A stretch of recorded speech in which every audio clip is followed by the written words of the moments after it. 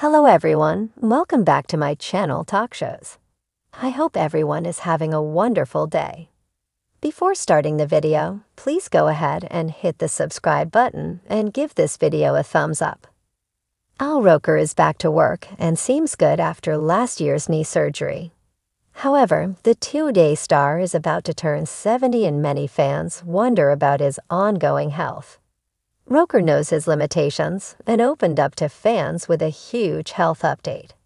He also talked about retirement and the possibility of more marathons in his future. Here is what Roker said about his surgery last year in recovery. Al Roker had major knee surgery last year.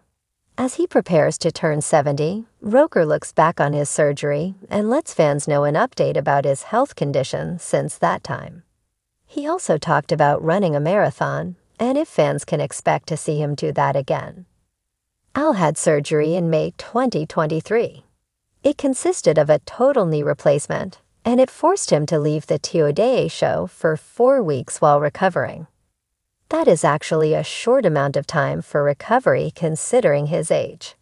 However, the man has never shown much weakness, and he returned and seemed better than ever. This was also his second surgery in a year. In April 2022, he had his first surgery. The second had to wait because of blood clots in his legs and lungs. However, he didn't let it stop him, and he fought on to where he is back on TODAY and has mostly recovered completely. In an interview at the Harlem School of the Arts 60th anniversary gala, Al said, Everything's great. Yeah, I feel good, via US Sun. I've been getting out, walking, and now the warm weather is coming. So, you know, I mean, we didn't really have a spring, but that's okay. It's all good. With his 70th birthday coming, many fans fear that Al might be considering retirement. This is especially concerning after his surgeries. However, that is not something that he plans to consider anytime soon. Al has been on TODAY for 28 years, and he won't be leaving. His wife, Deborah, said that retirement is a dirty word. She said they are both still having a great time and don't plan to stop. We're still exploring. We're still discovering. We're still traveling, she said. We're doing so much of what we love. That man is not retiring anytime soon.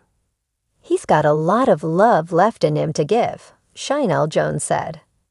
However, there is one thing that Al is retiring from. He said that he enjoyed the 2010 New York City Marathon, but he said he won't do it again. He said it was a foolish endeavor and that he sauntered more than he ran. He said it was kind of fun, but he won't do it again. What are your thoughts on Al Roker's continued good health following his surgeries? Are you happy to know he won't be retiring anytime soon? Let us know your thoughts in the comments below.